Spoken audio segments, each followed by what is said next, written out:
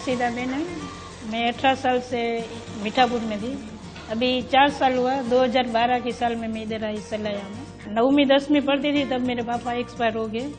उसके बाद हम लोग के घर में रोजी रोटी कमाने वाला कोई नहीं था। सिलाई काम पे मेरा घर चलता था भाई बहन फिर बड़े होते गए, फिर सबकी शादी की, फिर आगे डिप्लोमा का कोर्स किया, पाँच साल तक का। फिर निफ्ट में एन निफ्ट में भी गई मैं दोबारा। मैं अठारह साल से मीठापुर में थी।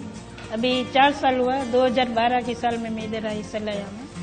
पहले घर चलाने में बहुत दिक्कत आती थी। एक ड्रेस में चालीस पचास रुपये मुझे मिलता था। फिर भी घर का खर्चा पूरा नहीं हो रहा था। तो ये कुछ सीखा नहीं होता तो मैं आगे नहीं बढ़ती। ना भाई बहनों को मैं बड़ा कर सकती थी।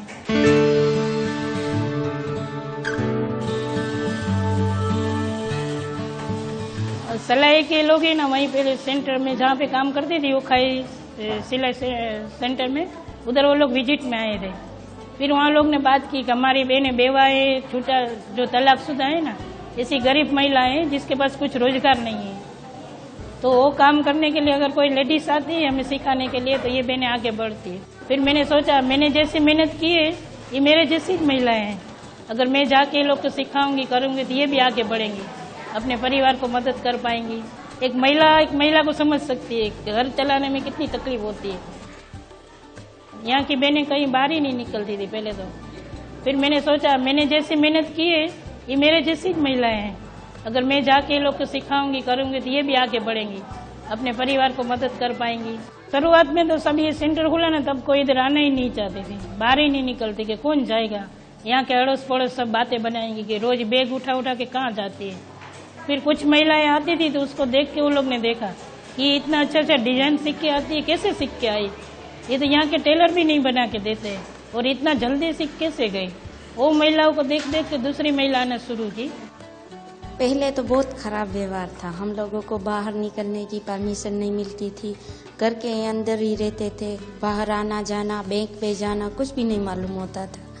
अब यहाँ पे आए तो बहुत अच्छा लगता है। सब लोगों से मिलते जुलते एक दूसरे का हँसी मज़ाक करते हैं, घर पे आना जाना लगा रहता है, कोई नई सोच मिलती है।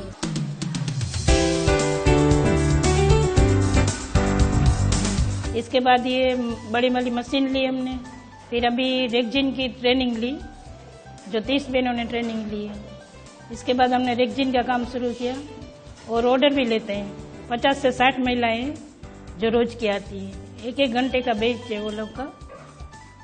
इसके सीखने के बाद हम लोग उसको काम भी देते हैं। और ऑर्डर मिलते तब बहुत खुशी होती है कि इतनी सारी बहनों को काम मिल रहा है। अभी तक करीबन 500 से 600 महिलाएँ सीख चुकी है। उसमें से 100 से 150 बहनें तो पूरा घर का खर्चा ही वही चलाती है। जेंट्स बोलते थे कि नहीं, अपने इतने दूर नहीं जाना है। तो बोलती थी कि रसीदा बहन इतने दूर से आई है, हम लोग अपना घर परिवार छोड़ के, वो भी हमारी जैसी एक महिला है, उसका भी कोई नहीं है।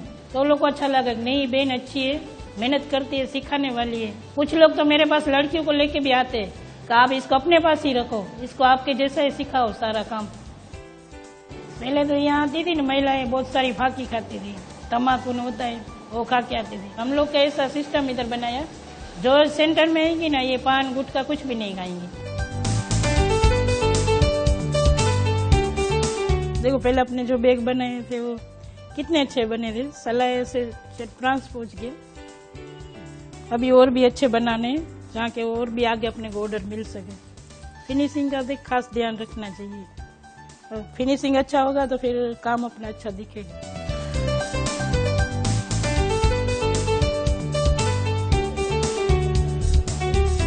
मैं तो पहले यही बोलती हूँ लड़कियों को सब काम सीखना चाहिए।